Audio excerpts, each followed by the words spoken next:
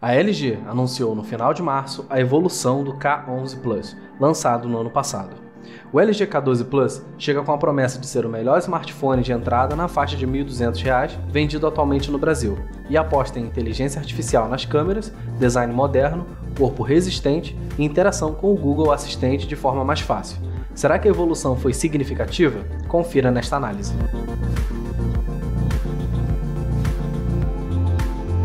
O LG K12 Plus chegou com um design simples e agradável. A tampa traseira e as laterais são de plástico, o que o deixa bastante leve, apenas 150 gramas, mas não aparenta ser tão frágil. Ainda na parte traseira, você encontra somente a câmera única com flash de LED, seguido por leitor de impressões digitais. O bloqueio é rápido e o acesso a ele é padrão. Se na parte traseira a LG não incluiu muito, as laterais merecem destaque por ter demais. Na verdade, apenas o lado esquerdo do aparelho, o K12 Plus vem com botões de volume, um botão dedicado a Google Assistente, uma gaveta para chip de operadora e a outra maior para acomodar mais um chip e um cartão de memória de até 2 TB em um único lado, deixando apenas o botão liga e desliga do lado direito. A decisão da LG quebra um pouco da leveza no design, mas na prática isso não incomoda.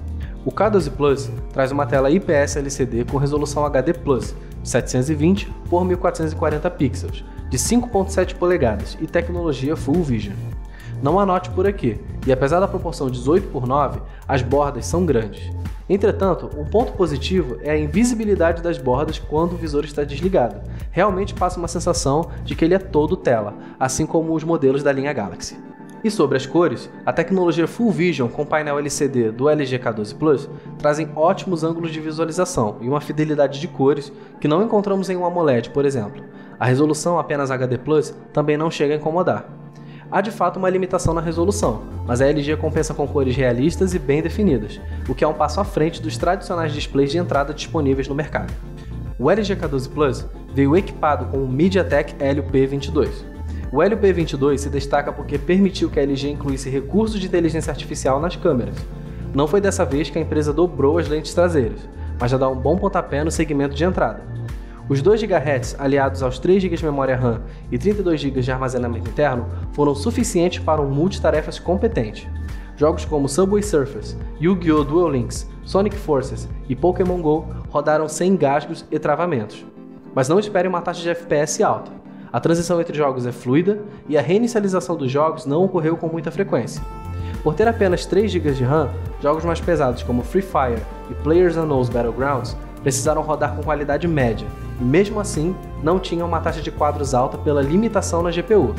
Prefira rodar jogos que não exijam muito em processamento de imagem. As aplicações rodaram sem nenhum problema de lentidão, a abertura dos aplicativos é ok e as transições são rápidas.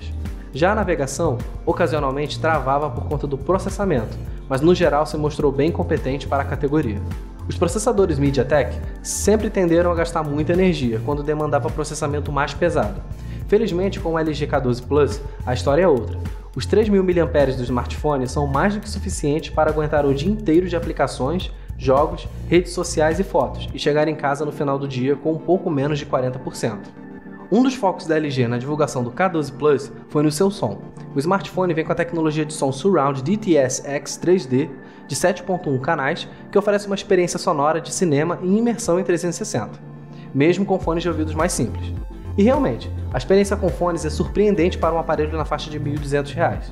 Em um primeiro momento, os fones de ouvido que vêm na caixa do produto parecem frágeis e de qualidade duvidosa. Não são intra-auriculares e não acompanham borrachinhas de proteção, mas têm uma potência alta e seus graves são satisfatórios. Já o som que sai da saída mono do LG K12 Plus poderia ser melhor. É alto, porém não produz um bom grave, tem distorções no volume máximo e o som não é claro. Prefiro a experiência com fones de ouvido que é mais satisfatória. Tanto a câmera traseira como frontal possuem uma inteligência artificial e foco automático de alta velocidade, o que garante fotos menos tremidas e mais instantâneas. A IA, presente nos 16 megapixels da lente traseira, reconhece até 8 cenários diferentes, entre eles pôr do sol, cidade, paisagem, pessoa ou comida, e ajusta as configurações automaticamente para cada cena. Os resultados são até que interessantes para um celular mais acessível, os níveis de detalhes são fiéis, a reprodução tende para o natural e a IA ajuda em alguns momentos. A situação piora quando o assunto é fotos noturnas. A abertura f2.0 não foi suficiente para garantir fotos um pouco mais claras, e os cliques ficaram bastante granulados, e o foco às vezes se perdia, fazendo com que a fotografia demorasse para processar. Já na câmera frontal, os 8 megapixels com abertura também f2.0 vai garantir algumas boas fotos para redes sociais, mas o pós-processamento é agressivo e deixa seu rosto muito artificial. Em condições com menos luz, a situação piora e os cliques ficam muito granulados e escuros, mas o flash de LED frontal dá uma pequena ajuda nisso. O novo smartphone da LG vem com um botão dedicado ao Google Assistente, que facilita a interação com o K12 Plus. Para ativá-la, basta clicar na tecla abaixo das teclas de volume na lateral esquerda e falar o comando. Dá para acessar os aplicativos do smartphone, pesquisar no Google e fazer perguntas gerais para assistente.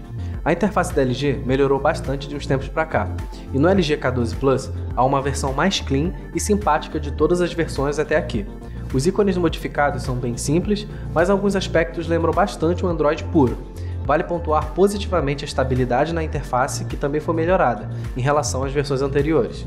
E a falta de uma grade de aplicativos não é um problema, até acostumar pelo menos. A LG acertou em cheio com o K12 Plus. A aposta no processador desconhecido MediaTek Helio P22 se mostrou certeira e abriu possibilidades para incluir recursos mais premium em um smartphone na faixa de R$ 1.200 podemos dizer que é um resultado promissor e ousado da empresa. Pode ser o pioneiro para uma nova era dos smartphones de entrada. E aí, gostou do LG K12 Plus? Ele está disponível no Brasil e você pode adquiri-lo nas cores azul, titânio e preto pelo preço sugerido de R$ 1.200. Acesse agora showmetech.com.br para análise e especificações completas do aparelho.